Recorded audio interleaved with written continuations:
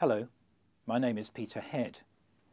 I'm a consultant to the large global consultancy Arup, but now I'm actually an executive chairman of a new charity that I've set up called the Ecological Sequestration Trust, and I'll tell you a bit more about that uh, a bit later on. But why am I talking to you today? It's basically because over the last six years, I've been managing and running the planning business of Arup globally. Uh, I'm an engineer, and actually I've delivered major infrastructure projects around the world, so I know about infrastructure. But I realise the infrastructure we're building doesn't necessarily enable us to live sustainably on the planet anymore. So I thought if I moved into planning, I might be able to see how we could change some of those things. And we were very fortunate about five and a half years ago to be able to be engaged in planning of eco-cities in China. And the reason that happened was the Chinese government realized that their economic development model was beginning to be a problem because they were using so much resources to actually develop these new cities that they were running into problems of finding enough resources, running into problems of pollution, and therefore we were looking for a new model of development to use less resources, more renewable resources, and reduce pollution. So we were given the opportunity to try that out. All the things that I learned in that process with my team then led to me doing a global lecture tour where I was able to study and report to 30 countries on how they could move to what I call the ecological age, in which we actually stop using non-renewable resources wastefully, stuff we dig out of the ground, process through our cities, and then create waste that pollutes the air, the soil, and the water. So moving from that model, which I call the industrial model of development, to one where we use renewable resources efficiently. So we close loops. We actually use resources and recycle materials using renewable energy if possible. And in that way, we can grow the use of renewable resources as much as we like because they're renewable and we reduce pollution. So that transition is one that I call going from the industrial to the ecological age. And when I went to 30 countries and discussed that with countries who are at different stages of development, I got a very, very strong and interested response, and I convinced myself that many countries actually believe that that's the direction we have to go in.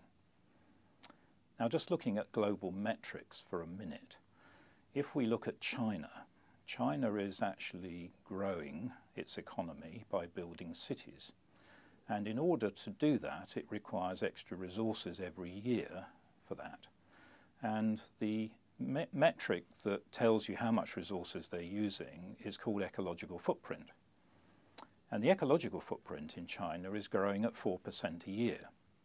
That means when you have 1.3 billion people who are each using about 2.3 hectares of land to support their lifestyle today, and that grows by 4% a year, that means you have to find 100 million hectares of new land every year to continue that process going and that's an area twice the size of France.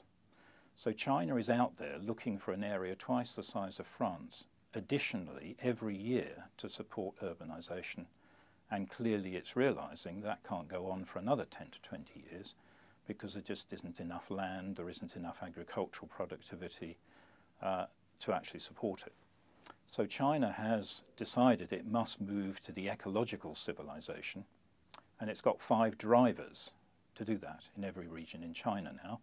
One is still GDP, the old measure of resource consumption, but the second one is, is energy efficiency. That's improving energy efficiency every year. The third one is reducing carbon intensity, which is actually reducing the emissions from consumption in cities. The next one is improving air quality, and the final one is improving water quality. So every region of China is now trying to do all of those things and develop urbanization models that enable that to happen. So China is starting to move in this general direction and I call that a new paradigm or a new model of urban development that meets objectives of low carbon and closing resource loops and reducing ecological footprint. And China, I think, is the only country that's got something called the circular economy law, which encourages manufacturers who produce waste to sell their waste to another company to use it as a resource in another process and so on. So there are incentives in China to move to this, this process. So I've learned a lot from China. But what do we do in the West? In, in the West, we're still living an industrial lifestyle. We have an ecological footprint which is around three planets worth of resources. And so what do we do? How do we change our lifestyles uh, in order to improve um, all those things and actually move to the ecological age? One of the things I've helped to do is create an, an organisation called the Institute for Sustainability in London. And that's been done to try and seed the idea of total community retrofit. And this is the idea that if you take a community that's large enough in one of the UK cities, you can actually help the community to move to this ecological age lifestyle over 10 to 15 years by investing in resource efficiency, in closing loops, in actually living a cheaper life for all of us and our families at the same time as reducing pollution and reducing dependency on the materials that come all over, from all over the world that are getting more and more expensive and more difficult to find. In other words, using renewable resources efficiently and maybe more local resources. In the process of analysing that, we've realised that you can't just do this at, at a city scale. You have to connect urban development with rural development. And let me illustrate um, a couple of uh, points about that. One is that in cities we produce a lot of biomass waste, uh, sewage waste and also um, waste from our gardens and trees and so on. Now if that waste were put through um, digesters uh, with bacteria in, that waste could be digested and the carbon and compost could then be made available to farmers outside the city and nutrients could be used for growing food and, and, and other things. And the wastewater that comes out of the treatment of water in cities could also be made available to farmers in order to provide a more reliable source of water for agriculture. Now, none of those things are happening at the moment. And if we do that, it's possible to lift food production outside the city and connect it to the purchasing of food inside the city to, to help close those loops. And the other thing, of course, is there's a lot of renewable resources available outside the city in waste from agriculture, um, biomass from forests. And if we put that through these digesters as well, that carbon, instead of being burned or going into the atmosphere, can be recycled into compost and back into food production and farmland as well to improve soil quality. So the model that I talked about earlier in China can start to begin to be retrofitted onto our cities in, in the West. And you may ask, where does the money come from for, for doing that? Um, we reckon on average it costs around 10,000 to 20,000 pounds per home to retrofit a whole area of a city. Well, basically pension funds who actually have money pouring into their coffers every day have to invest it in something. And they're very interested in investing in um, aspects which achieve a, a guaranteed return through, um, uh, through savings in resource costs. And therefore, it is possible to actually close that loop to create an investment proposition for pension funds to enable this to be done. So basically, what we're trying to fashion is, is a large-scale demonstration project where the lifestyle in, in a region uh, could be changed and families can live a much better lifestyle with less cost. Um, and maybe I, what I should do is just illustrate a few things that could happen uh, in that model. One is cars. Now, uh, in the UK, on average, uh, we drive about 7,500 miles a year in our cars, and we spend about £5,000 a year in actually running that car. And that works out, if you, if you work it out, it's about, on average, about an hour every day that we drive a car uh, that we own. So the rest of the time it's sitting in a parking space that we might have to pay for doing nothing.